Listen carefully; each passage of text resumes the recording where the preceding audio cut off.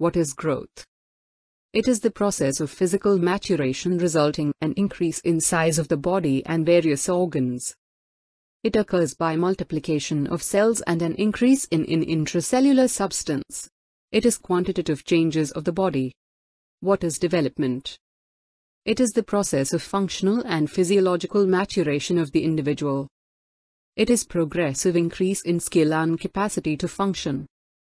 It is related to maturation and myelination of the nervous system. It includes psychological, emotional and social changes.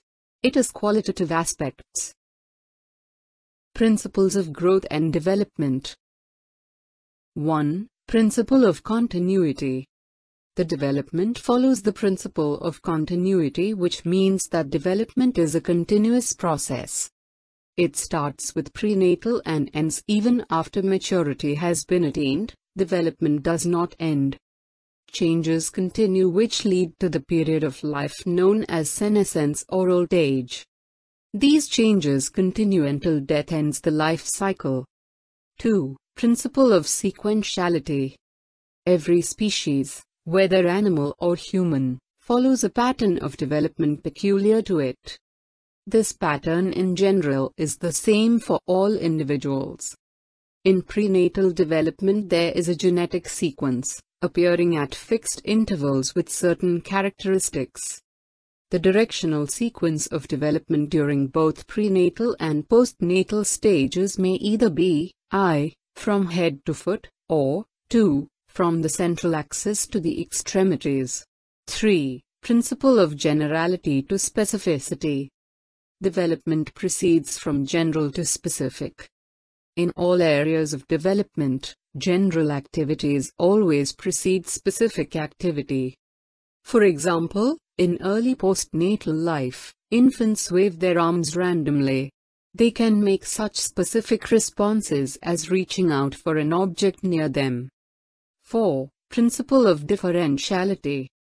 Developmental changes do not always go forward in a straight line. While the development of different physical and mental traits is continuous, it is never uniform. Individuals differ in the rate of growth and development. Example, boys and girls have different development rates. Each part of the body has its own particular rate of growth.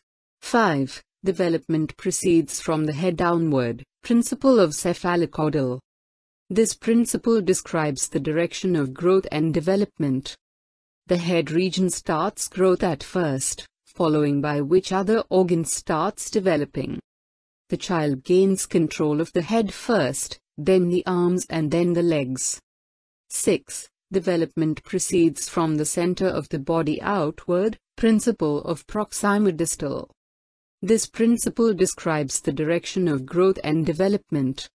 The head region starts growth at first, following by which other organ starts developing. The child gains control of the head first, then the arms and then the legs. 9. Growth is a personal matter. Each child grows in his own personal manner. He or she should be permitted to grow at his, her own rate.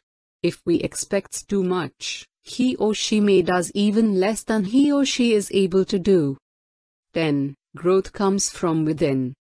One or surrounding environment can encourage or can hinder the energy of a child, but the drive force that pushes a child to grow is carried inside him. Parent or teacher job is to clear the track, guide the child with loving acceptance and then relax and enjoy. 11. Growth has certain characteristics common at particular stages.